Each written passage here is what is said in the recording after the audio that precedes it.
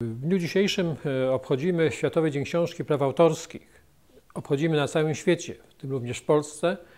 E, został ustanowiony w 1995 roku przez UNESCO, mm, ale tradycja sięga już e, lat 20., przełomu lat 20. i 30. XIX stulecia w Hiszpanii, w Katalonii gdzie dzień 23 kwietnia jest Dniem Święta Narodowego. E, patronem e, Katalonii jest e, święty Jerzy, który pokonał smoka i na pamiątkę tego jakby wydarzenia i, w celu promocji książki, literatury, wydawni, wyda, wydawców wręczano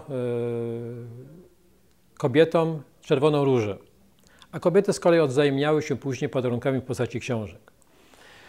Światowy Dzień Książki Praw Autorskich jest, e, świętem, jest świętem książki, autorów, ilustratorów, wydawców, wszystkich ludzi związanych z książką, również i e, bibliotek, e, pracowników bibliotek, jest promocją czytelnictwa, wszystkiego tego, co dzieje się wokół książki. Jest też jakby podkreśleniem znaczenia ochrony własności intelektualnej w postaci właśnie prawa autorskiego. Tego dnia na, e, odbywają się w różnych miejscach e, świata, również i w kraju, również w Lesznie, e, różne wydarzenia popularyzujące książkę, autorów, czytelnictwo w postaci spotkań autorskich, wystaw, kiermaszy książek, happeningów, promocji książek i wielu, wielu jeszcze innych. Może tutaj podkreślę, że w Lesznie już na samym początku, od proklamowania przez UNESCO dzień, dnia 23 kwietnia jako Dnia e, Światowego Dnia Książki Praw Autorskich podejmowaliśmy działania popularyzujące e, książkę i czytelnictwo.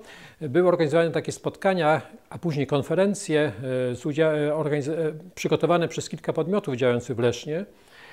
I aż to było do roku 2018, bo niestety w 2019 ze względu na problemy e, w oświacie nie udało się zorganizować e, tej konferencji. Była ta konferencja, którą organizowało kilka podmiotów, tak jak mówiłem, to znaczy Biblioteka Uczelniana Państwowej Wyższej Szkoły Zawodowej, e, Centrum Doskonania Nauczycieli, Trzecie Liceum Ogólnokształcące, Miejską Bibliotekę Publiczną i Oddział Leszczyński Stowarzyszenia Biblioteki Polskiej. Była taka konferencja regionalna, gdzie były i wykłady, spotkania, warsztaty, wystawy i wiele innych jeszcze form popularyzujących to święto. Niestety w bieżącym roku ze względu na, na, na panujące ograniczenia e, związane z pandemią e, nie można było przystąpić do takich realnych działań. Dlatego, ale, ale na, w świecie wirtualnym znajduje się wiele interesujących materiałów, ciekawostek, e, propozycji do których e, również i na naszej stronie e, Miejskiej Biblioteki Publicznej w postaci biblioteki online, do których obejrzenia i e, odsłuchania serdecznie Państwa zachęcamy. Nie tylko zresztą w tym święcie, w dniu dzisiejszym z okazji Światowego Dnia Książki i Praw Autorskich, ale każdego dnia myślę, że Państwo znajdziecie coś interesującego dla, dla, dla, dla pogłębienia swojej, swojej, swojej pasji, dla, dla zrelaksowania się. Dlatego, do tego wszystkiego, czemu służy yy, dobra książka. Książka to mój przyjaciel. Właściwie od dziecka. Zdarzało się, że narzucona literatura nie zawsze odpowiadała moim wewnętrznym potrzebom ale radziłam sobie wtedy, zbierając streszczenia, notatki z lektur, które były dla mnie mało interesujące. Za to wyszukiwałam w bibliotece taki rodzaj literatury, który mi odpowiadał. Początkowo były to treści o tematyce przygodowej, zwłaszcza związane z życiem Indian. Tak wtedy czułam taką miałam potrzebę. Chyba chciałam wieść życie plemienne. Literatura ma różne oblicza, więc w miarę rozwoju dojrzewałam do klasyki. Ta nigdy nie umrze. Wielki mistrz literatury William Shakespeare pisał językiem, który jest zrozumiały dla dziś, do dziś. Dla mnie istotne są treści, które zawierają ponadczasowe przekazy. Fascynują mnie książki o tematyce filozoficzno-duchowej, a może raczej duchowo-filozoficznej. W tej dziedzinie w moim przypadku pierwsze skrzypce gra oczywiście Plato. Mogłabym wymieniać sporo książek o mniej znanych tytułach, które są mm, moimi ulubionymi książkami, ale w ostatnim czasie myślę, że warto zajrzeć ponownie do antyutopii George'a Orwella.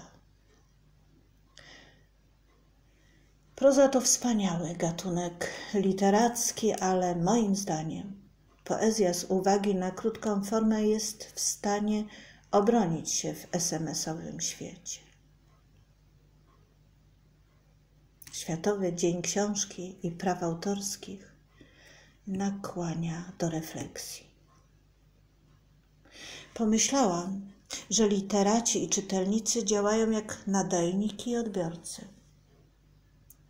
Nawet nie wiemy, dlaczego sięgamy po daną książkę, a inne stoją z boku i, i są nam zupełnie obojętne. Myślę, że w książkach zawarty jest pewien ładunek energetyczny, który przy swojej wrażliwości wyczuwamy. Więc pociąga nas to, z czym rezonujemy. Chciałabym zachęcić czytelników do sięgania po książki, a może tych, którzy rzadko czytają. Gdybym kiedyś nie czytała, prawdopodobnie nie byłabym w stanie dzisiaj nic napisać. Chciałam wyrazić swoją wdzięczność wydawcom i cieszę się, że żyjemy w świecie, w którym literatura jest dostępna dla każdego bo wiedza jest bezcenna, a czasem jest odpowiedzią dla wiary.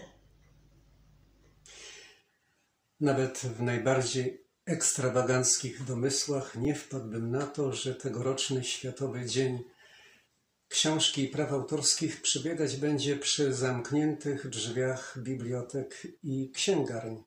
Podobnie jak zamknięte są teatry, kina, sale koncertowe, nie odbywają się spotkania artystyczne. I przyjdzie taki czas, kiedy one otworzą swoje bramy, życie kulturalne wejdzie w jakieś być może trochę inne kolejne, ale pomyślałem sobie, że książka właściwie spośród tych wszystkich dziedzin kultury, literatura, że one wyszły i wychodzą obronną ręką w czasach pandemii, bo mm, życie kulturalne zasadniczo przyniosło się do sieci, a po książkę mogę sięgnąć zawsze, mimo że biblioteki i księgarnie są zamknięte. Wystarczy przecież tylko taki gest i książka jest w naszych rękach.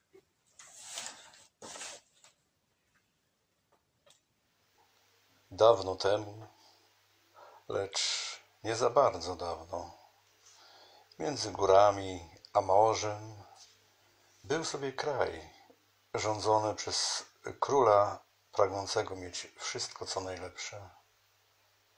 Kiedy więc do jego pałacu przyszedł wędrowny pisarz, zachwalający swoją najnowszą książkę, król Zainteresował się ogromnie.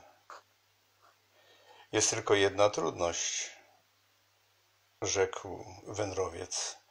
Moją książkę może odczytać tylko ten, kto ma gołębie serca, dużą wiedzę i inteligencję. Nie chcąc się wystawić na próbę, król zawołał swoich ministrów, aby oni odczytali mu kilka opowiadań z tej frapującej książki. Każdy z nich, widząc puste stronnice, a nie chcąc uchodzić za nieuka, zaczął wymyślać własne historie, które bardziej lub mniej pasowały do piastowanego urzędu. Zasłuchany król, sądząc, że w książce znajdzie wszystkie sposoby rządzenia krajem, zakupił od y, wędrowca książkę i hojnie go wynagradzając. Od tamtego dnia rządził krajem tylko według tego, co wyczytał ze swej ulubionej książki. Czym dla mnie jest zatem książka? Jest y, seansem wyobraźni, zbiorem wszelkich przygód, jakim jest życie. Jak mawiał Jan Parandowski,